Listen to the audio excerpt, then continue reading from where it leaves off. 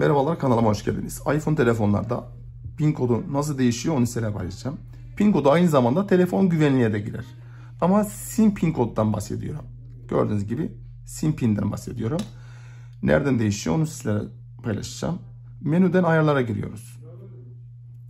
Ayarlardan hücresele giriyoruz. Aslında mantıksız hücresel. Pin kodun orada olması mantıksız. Sim pin diyoruz. Değiştir diyoruz. Mevcut pin kodunu giriyorsunuz. Mesela 45-45 demiştim. Tamam dedim. 45-45 Yeni pin kodu. Geri gelelim. Pini değiştir. Mevcut pini diyorum. 45-45 dedik. Tamam dedik. Örnek diyorum 25-80 dedik. Tamam diyoruz. Tekrar onaylıyoruz. 25-80 dedik. Evet şu anda pin kodu 2580 oldu. Fakat şu kartı içindeki pin kodu tamam pini değiştirmiş olabilirsiniz. Fakat burada PUK kodlar var.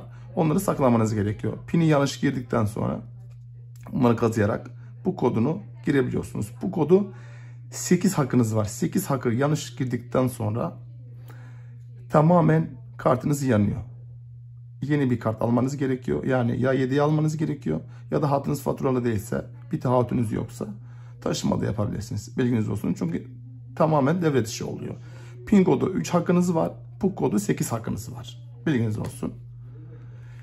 Evet videonun sonuna geldik. Bir dahaki videoda görüşmek dileğiyle.